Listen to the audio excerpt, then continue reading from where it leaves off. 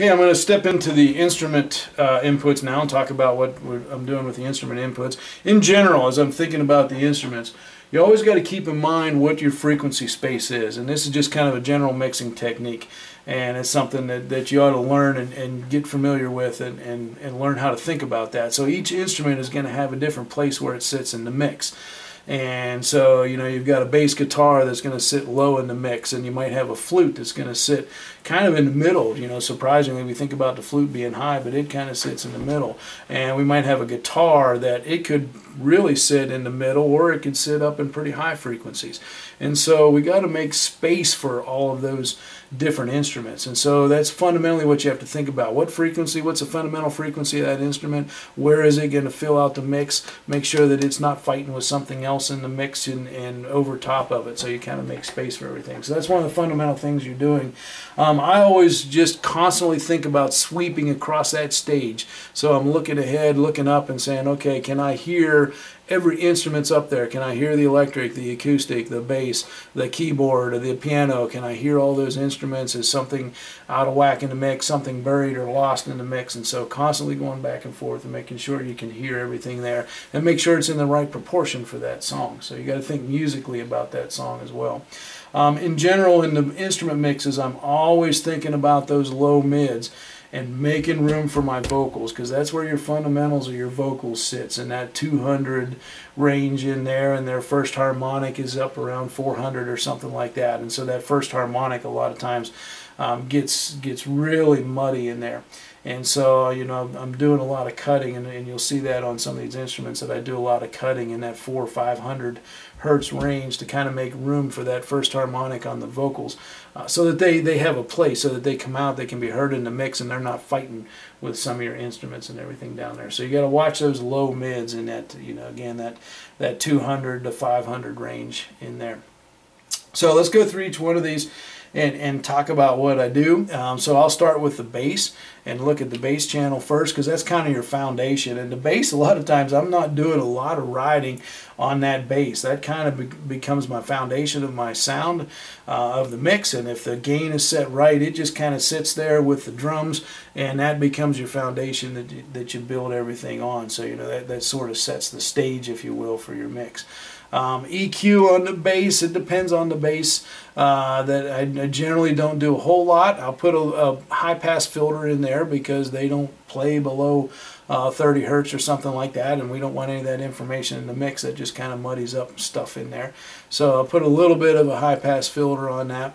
Um, I will push the high mids, and again, this depends on the tone that you get from some of the bass players. Some bass players like a really big, fat, muddy bass and then I'll have to push those high mids to kind of get some definition and get some attack on the notes. Um, I'll sometimes cut a little bit of the low mids in there. You got to be careful doing that because that's kind of the fundamental of that bass in there, in, in, there around 80 to 110 hertz or something like that. That's where you see a lot of those bass fundamentals. So you don't want to cut that fundamental. You're losing that instrument.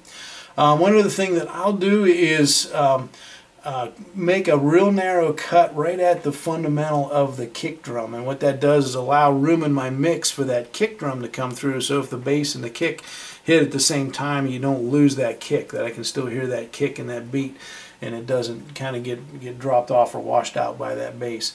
Um, another technique that a lot of people use are side, side chaining compressors and things like that. Um, that's a little bit tricky to do with these with these QL consoles. Um, but just putting a real small cut in there kind of leaves a little bit of room, so I'll do that. And that's really about all the processing in there. A little bit of compression on that uh, because every string hit is uh, is a little bit different and so I'll be looking at, at a compression you know maybe 2 to 3 dBs of compression as they're playing. So I don't want to over squash the thing but I just want enough there just to kind of keep it tight level it out a little bit so that they're not I'm not chasing dynamics with it all the time. Now one other trick that I like to do with the with these basses and again lot, some of our bass players like a really muddy tone or you get a lot of bass players that haven't changed their strings for two years and it just makes that bass really sloshy and and and soupy and doesn't have a lot of definition to it. And so what I do is double patch that bass uh, channel and bring that into a second channel. And what I'm going to do on this is add a uh, add a, a amp simulator to it. So I'm taking this, putting this as an insert. So I'm taking this bass wet, I call it, and putting it into an amp simulator and just putting a whole bunch of overdrive on it, a drive. And if you listen to it, it just sounds like you've kind of maxed the thing out on the channel and it's clipping or, you know, just, get, just kind of gives you some stuff like that, just some really weird sounds. But if you mix that in, just layer that in a little bit with the bass, that just gives you a lot of definition. So it takes that mushy, muddy thing that just kind of is going woof, woof, woof, woof, and it adds some definition to it so you can start to hear definition between the notes of boom, boom, boom, boom. So, so I'll do that and just play with that a little bit. So again, that's just a, an amp simulator with a lot of drive on it uh, that we've got hooked in there. And all I want is the high frequency out of that. So it's really weird to see a bass channel with a high pass filter at like 600. So I've taken that high pass filter up as high as it can go because all I want is those high frequencies that are going out of that bass channel into that amp simulator and I've put those in the order so if you look at the order of what happens so the signal comes in through the gain through the high pass filter through the EQ then it goes out to the amp simulator. So I'm not sending any low frequencies to that amp simulator. The only thing I'm sending is the high frequencies to that amp simulator. So it gives me that definition that that shimmery stuff if you will on top. And it, you know that can have let you bring that bass out without adding a whole lot of energy to it. And that helps downstairs for front of house a lot too. Uh, because if you're having trouble getting definition on the bass and you keep pushing and keep pushing, next thing you know the room is just kind of of just thumping in there and the cameras in the back wall are wiggling, but it's because you you you can't get that definition without getting too much energy in there. So adding that bass sweat channel will allow you to get some definition and be able to hear the notes, hear the tone um, without putting overdriving the energy in there. So so that's some processing I do on the bass in there. So that's kind of the foundation for that. Um, keyboards, let's go to the keyboards next. I usually don't do an awful lot of processing on these.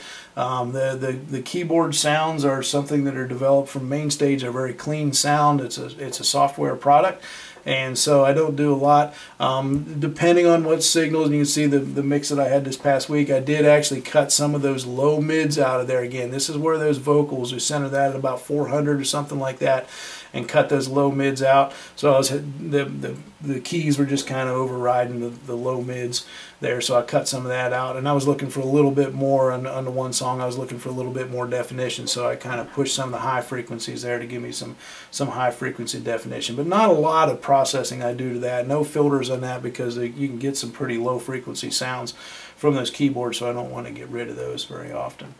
Um, right now we're running the a piano, so when we have a Nord, and it's actually through my Key 2 channel this time. And again, that is a very, very clean piano, and so there's no processing on that whatsoever. Uh, so it just comes through. It's a really, really nice signal. Now, occasionally I will. We've got some, some piano players that love the left hand, and when you got a bass player and they're down there hammering chords right on top of that bass. And so sometimes I will cut a lot of the low frequencies out of there if I've got a keyboard player that can't stay off the left hand. Uh, but our good keyboard players that know where they're good, you know, they're working themselves into the mix too. They're thinking about their frequency space.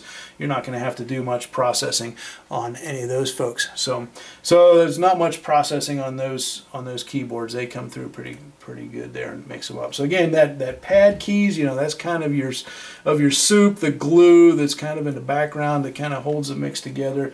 Uh, that piano sound is the is the stuff on top. It's the color. It's giving me some rhythmic things and and hearing pitch and stuff like that off of that. Um, let's go to guitars next. Let's talk about the, the acoustic guitar. And uh, this is something that I'll change frequency, change EQ, depending on what my band is. So if I've got an electric guitar uh, that's playing typical worship electric guitar, um, I don't want a lot of low frequencies down in there. And so you can see in this particular mix, I had an electric guitar, so I took a lot of the low frequencies out.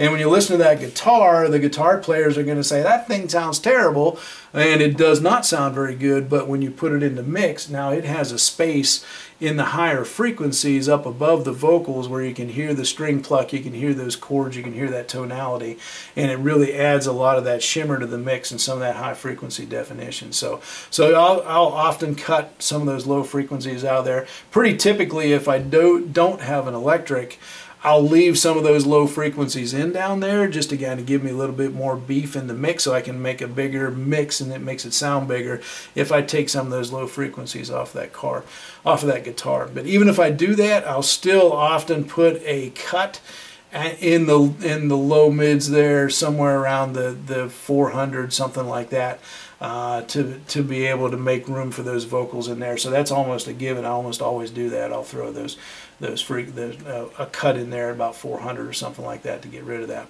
Um, high pass filter typically you don't go that high. Again, I was trying to get rid of the low frequencies because of, of fighting with an electric that I had. To, they were playing a lot of really low mushy frequencies, so I was trying to clean up the mix. But typically you want to set that high pass filter at about 50 hertz, something like that. That's what the lowest uh, note that an acoustic guitar can play, and that'll just take out all the low stuff that you don't need down there.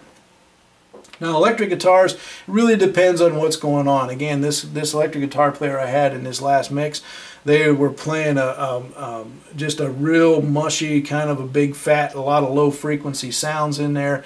And what I was trying to do was just clean that up. So I was taking a lot of those lows out and pushing some highs, trying to give me a little bit more definition, um, a little bit cleaner sound to make a, a cleaner mix on top.